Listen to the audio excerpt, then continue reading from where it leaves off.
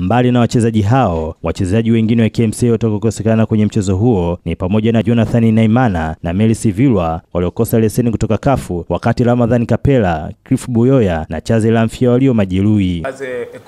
Kama kocha siwezi kutegemea mchezaji mmoja. Kitu pekee napenda kuona fulani anacheza hapa na mwingine anacheza pale, na siwezi kusema fulani hayupo au washambuliaji hawapo, basi nikate tamaa. Nitafanya kila ninalowezekana kwa kumchezesha hata kiungo anayeweza kufanya hiyo kazi.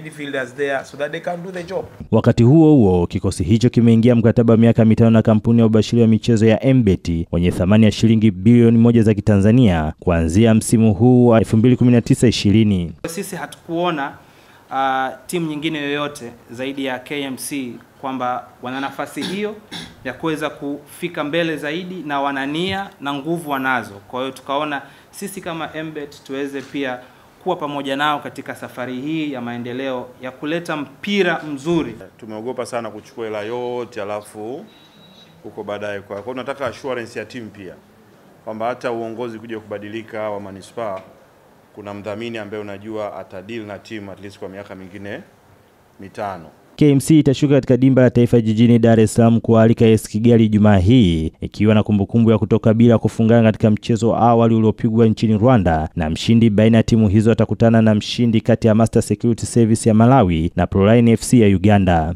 Bwana Shomari, Star TV, Dar es Salaam.